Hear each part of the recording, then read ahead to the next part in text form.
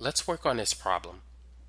A rectangle is inscribed in the parabola y equals 24 minus 2x squared with its base located on the x-axis. What are the dimensions of the rectangle that will have the maximum area? One of the best things we could do right now is to draw a picture.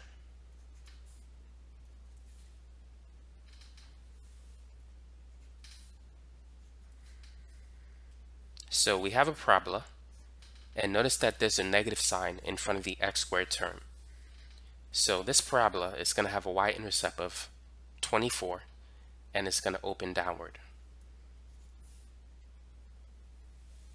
So we don't need a perfect graph in order to get the right answer, but it's going to look something like this. And we have a rectangle inscribed inside of this parabola. And the base is going to be on the x-axis. Now the distance between the origin and this point, that's going to be x. The height of the rectangle, which is basically the height of the curve, that's going to be y. And we have a function that relates y to x. And it's y is equal to 24 minus 2x squared.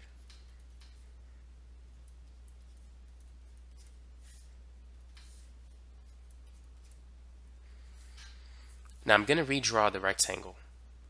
Our goal is to determine the dimensions of the rectangle that will give us the maximum area. So this is the length and this is the width of the rectangle. When solving optimization problems, you need to use two functions, the constraint equation and the objection function. The objective function is the one that you're trying to maximize or minimize. In this case, that's the area. Now we know that the area of a rectangle is equal to the length times the width. Now if this is x, this is also x. So the length of this rectangle is going to be 2x. And the height is going to be y. So the area is going to equal 2x times y.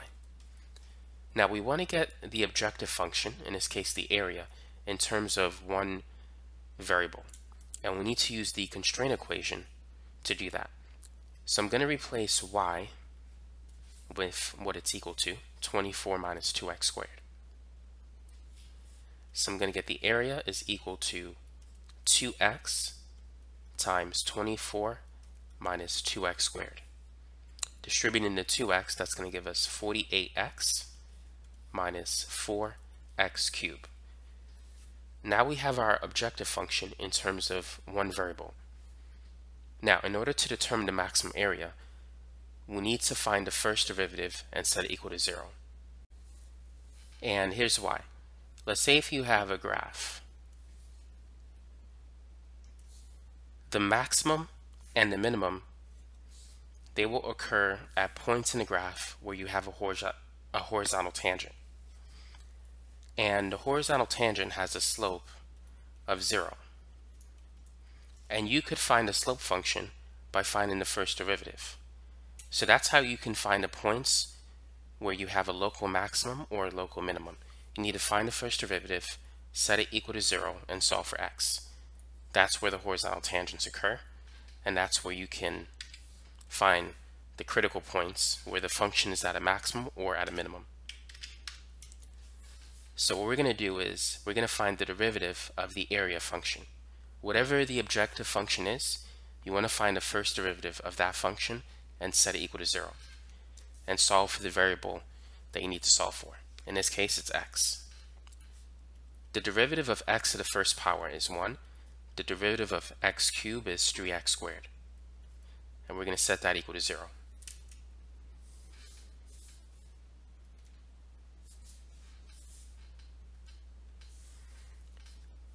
So right now we have 48 minus 12 x squared is equal to 0. I'm going to take this, move it to this side. So this is going to give me 48 is equal to 12x squared divided by 12. 48 divided by 12 is 4, so we get 4 is equal to x squared. Now, taking the square root of both sides, we get that x is going to be plus or minus 2, but since we're dealing with the area of a rectangle, we could use positive values. So we get that x is equal to 2. So now that we know the value of x, we can get rid of this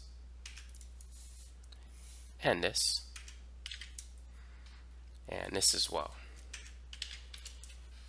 So we know that at x equals 2, the area function will be at its maximum value. Now we need to determine y, so we're going to use this function. Let's plug in 2 into x. So this is going to be 24 minus 2 times 2 squared is 4. And 2 times 4 is 8. 24 minus 8 is 16. So the dimensions, well, we don't quite have it yet, but right now we know that x is 2 and y is 16.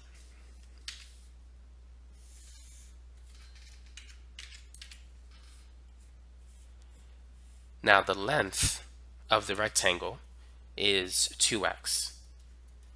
And x is 2, so 2 times 2 is 4. So L is 4.